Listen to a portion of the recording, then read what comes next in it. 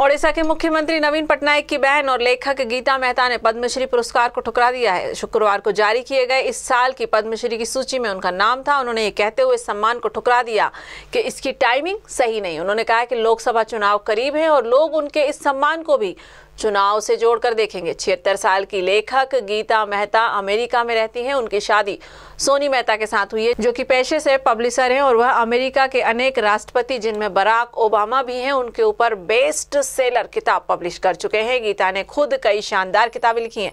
उनकी किताबों में Karma Cola, Raj, snakes and ladders सहित काफ़ी सारी बुक हैं।